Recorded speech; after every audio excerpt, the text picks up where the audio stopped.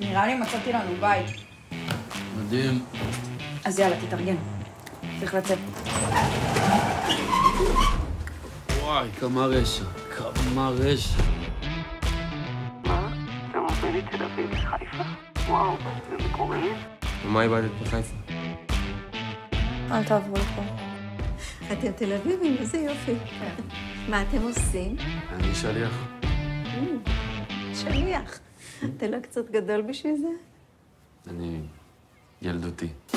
אנחנו סוגרים עם דירה.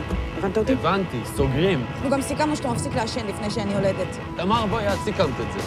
כן? כן. די, די, מספיק, מספיק, סבבה, אנחנו סיכמנו. המקום הזה זה התמצית של כל מה שדפוק באנושות. לא אכפת לך מזה? לא כרגע. אפשר לעלות? שגבר.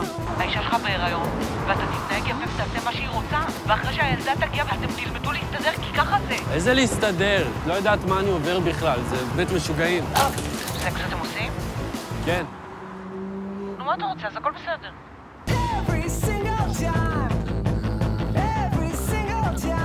שהילדה הזאת תהיה לה בית, רוצה שהיא תרגיש שזה בית.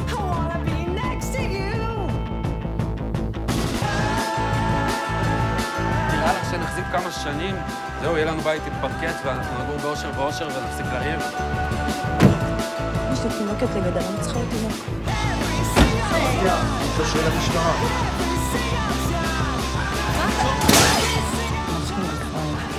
המשטרה.